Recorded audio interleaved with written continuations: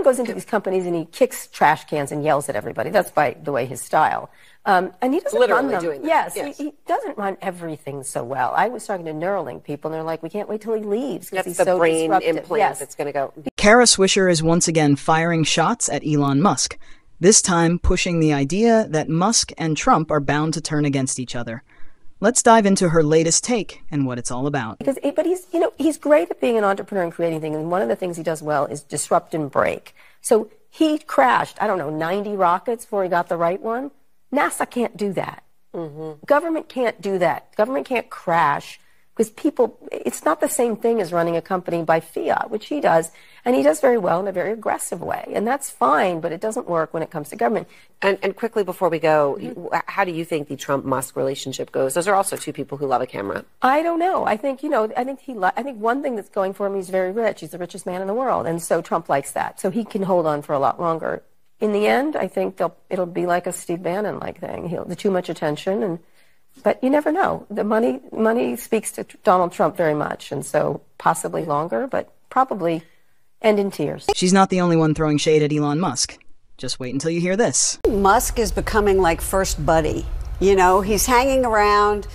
Foreign leaders call. Trump puts him on the phone with him. He brings his family to Mar-a-Lago. He doesn't want a job, right? And and I think in a funny way, Donald Trump is sort of in awe of Elon Musk because he's so rich. Blue Sky has also joined the conversation, and you'll want to see this.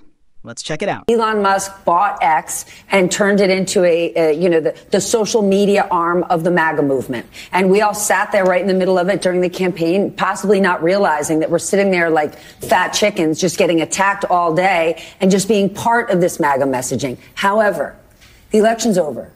Everybody's getting smarter and better. I'm not sure that the right idea is to leave Twitter and just go to Blue Sky, a friendlier place, because then we remain in our echo chambers. I don't think that you should necessarily stay in Twitter every day and battle it out and let yourself doom scroll of all the hate coming at you.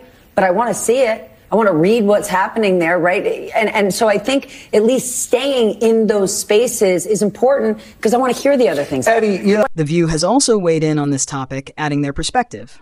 Let's take a look. I do worry about with this, like the blue sky versus X, because a lot of people I follow on X, Twitter, have now left to go to blue sky.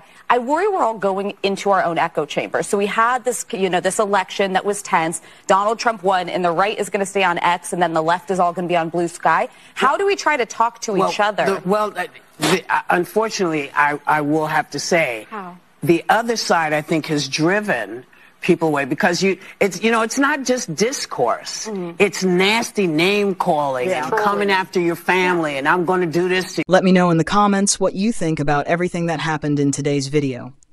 I'd love to hear your thoughts, whether you agree, disagree, or have a completely different perspective. Thanks for watching, and I'll see you in the next video.